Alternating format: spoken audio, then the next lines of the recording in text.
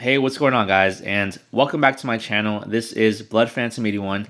Today we're going to talk about the major indices such as the NASDAQ and the S&P 500.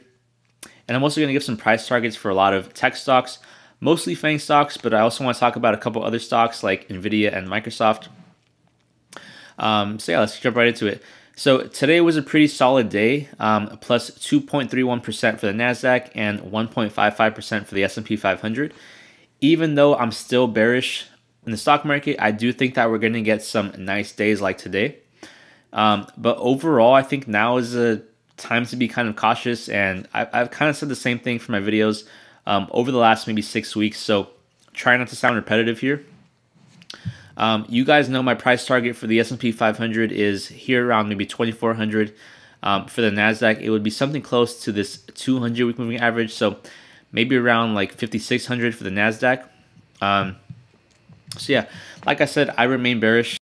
Uh, but overall i think now is the time to kind of have a plan. Um, what are you going to do if the stock market drops another couple hundred points you know? That's quite significant. From this point um, i don't know why my computer's lagging but anyway from this point to this point that's quite a bit of ways to drop. And i'm not saying that that's exactly what's going to happen but what if this does happen? Like, do you guys have a plan in mind? Are you guys just going to buy no matter what happens? I mean, that's a pretty good plan already. Um, for those of you that are traders and maybe playing around with Robinhood, I think there's a pretty good opportunity uh, to be made around the corner, and it's definitely something that I'm excited about. Um, but yeah, so overall, talking about this plan, so I hear a lot of people talking about getting into defensive stocks. Um, my personal take is that time has already sailed. Like you should always kind of be in defensive stocks, um, whether it's your main portfolio or whatever. Um, but if you take a look at a lot of um, currently defensive stocks, such as Procter and Gamble, they've already made kind of considerable gains, and so the time to be in defensive stocks would be in times where you would least expect the market volatility. You know, you don't get into these stocks because the market is volatile. Um, you get the you get into the stocks because these the market may be volatile at some point in the future. Um, overall, however, and I know this might sound kind of intuitive, I think tech stocks are the way to go, and I do think that they're going to outperform the stock market over the next five, ten years. So my strategy right now is to look for discounts in tech. So today I want to give some price targets um, for mostly FANG stocks, but other stocks as well, as I mentioned. Um, this video may get kind of dry because it's going to be looking at charts for the most part, but if you guys can stick through the end of it, um, good for you.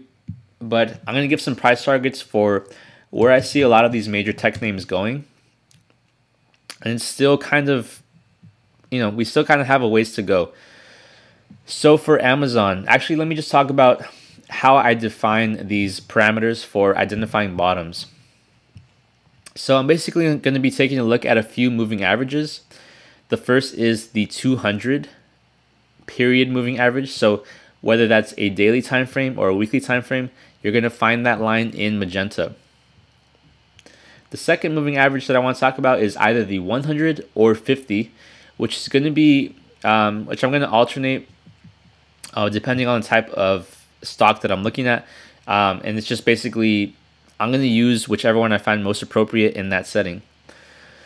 So anyway, for Amazon,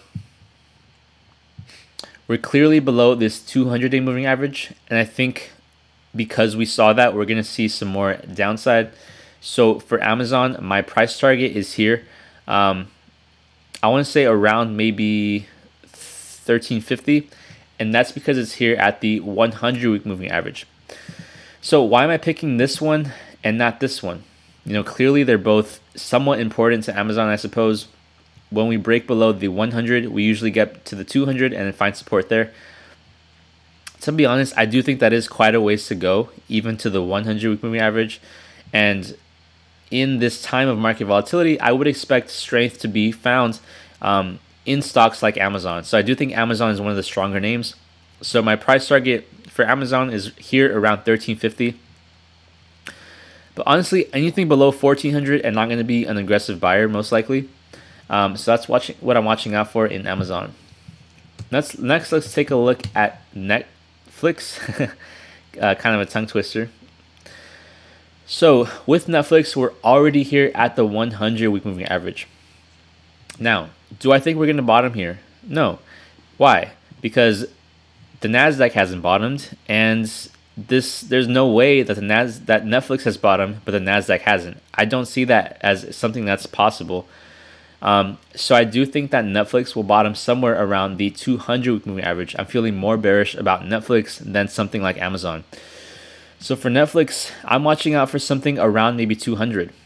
And in some instances, Netflix does retest this 100 moving average, which is this kind of blue line, um, but it hardly ever gets to this magenta line. So it's going to be kind of nasty. Um, I do think that there might be some news that comes out about Netflix, which is pretty worrisome. But overall, I think now would be a good time to start a position, but your core position shouldn't be until somewhere that's below maybe, I don't know, 220 or 210. So anything below 220, 210 is, is fine to start adding a lot of shares of. Um, and you guys know where the support level lasts. So if we get somewhere below this, then I'd be kind of cautious actually, um, especially considering that we haven't really retested this 200 week moving average um, for a long time. So that's where I'm at with Netflix. One more time, anything around maybe 210 or 220 is a, is a fine place to start adding a lot of shares of. Um, the next thing I want to take a look at is Apple. So a lot of people are citing the news about um, Apple uh, choosing to not disclose their iPhone sales or basically just not be super granular about what's going on under the hood, so to speak, in terms of sales and revenue. I don't think that that's why Apple's selling off. I think Apple would have sold off regardless of what they announced on earnings day. It's just kind of weird that Apple was the only stock that hadn't sold off yet while the rest of the market was selling off. Um, you know, I think it was inevitable. And because of that, I do think that we still have quite a ways to go before Apple bottoms. Apple bottoms, it's very funny. Um, so I could see Apple bottoming maybe around like 150, um, which actually isn't that much to go, but like considering how much Apple represents the Nasdaq, which is like I think Apple is like maybe like 14% of the Nasdaq. Um, and probably a big chunk of the S&P 500 as well. Um, so just because of that, I think we're going to feel it a lot more in a sense. Um, but anything around this 0.382 retracement, something like 150, 160, I think is fine to start being kind of aggressive with Apple. And if we break below this magenta line, which currently sits at 140, um, yeah, I think that's that's time to be a little bit more cautious. Next stock I want to take a look at is Nvidia, which is kind of fun to talk about. Clearly, this one's been getting destroyed. So from the high here in 2018, we have lost about 50% of its value. The crazy thing about Nvidia is like I've been citing this 200 week moving average as a place of support for Nvidia and a lot of other tech stocks. For Nvidia, we're we're practically there. So the other thing that sits here is the 0.618 retracement. Um, this retracement is off of the 2009 lows. So I do think it's an ideal place to find support, um, which unfortunately is still quite a ways to go. So that's at least another maybe 16% to go. So I think it's fine to start adding maybe a couple shares of this if you guys have a lot of cash available. Um, just do like a starter position, but I think the core position can come maybe somewhere around like 135 or 130 or 125. Just because of how much Nvidia sold off a lot. I don't know how much more it's going to sell off, but um, yeah, I, am excited about Nvidia. I, am still pretty bullish on it, um, and I don't think like it's as terrible as people are making it out to be. Um, so yeah, anything around 130, and I'm a very happy camper. Uh, the next stock I want to take a look at is Google. Um, so Google, we're already finding support here at the 100 moving average. And because of that, um, just like Netflix, I do think we're going to retest this 200 week moving average. So that's going to put us somewhere around maybe like 900, um, which would make sense. I think there's a lot of stops here at, at around like 1,000. So if these stops get taken out, I could easily see us um, spiraling out of control all the way down to maybe like 900. Weekly RSI would probably be oversold at that point.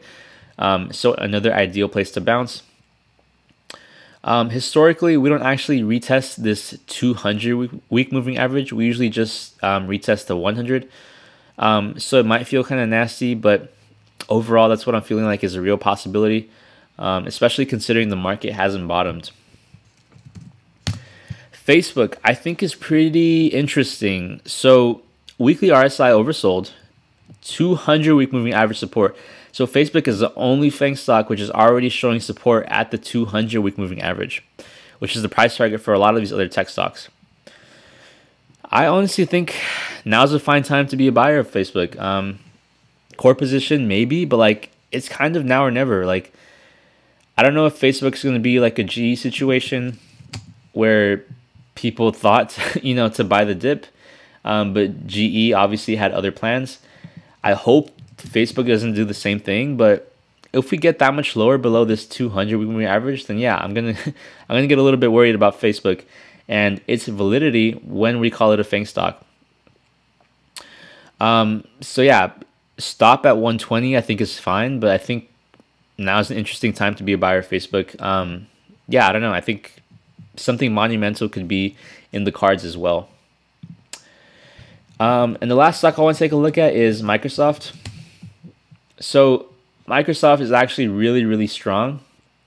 So you'll note that I've had this 100 and 200 week moving average for most of these other tech stocks. For Microsoft, we're still quite a ways above either of those. And in fact, we're showing support here at the 200 day moving average. So that's something that we can't say for a lot of these other tech stocks. And the interesting thing about Microsoft is it's kind of like a blue chip tech stock. Um, I wonder if this is a place where people are putting their money. Um, and maybe it's kind of like a quote unquote safe haven.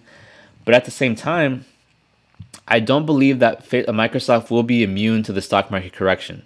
I do think that we're going to retest this 100 moving average like we did here in you know 2015 and here again in 2015 and here again in 2016.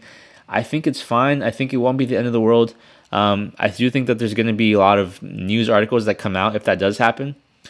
Um, but it's fine um, if it does happen. So overall, 90 is where I would love to be a buyer of Microsoft. Um, but yeah, that's pretty much it for the tech stocks. I covered the FANG stocks plus Microsoft and NVIDIA. Um, hopefully this video wasn't too dry. I try to mix it up. I know that technical analysis is kind of hard to get into if you're not into it already. Um, but uh, yeah, those are just my price targets. Let me know what you guys are doing. If you guys are just like buying no matter what happens, or if you guys have some very specific targets that you want to watch out for, um, just like me. Definitely let me know in the comments below. Uh, but anyway, that's going to be it for this video. I hope you guys have a great day, a great night, and uh, good luck trading.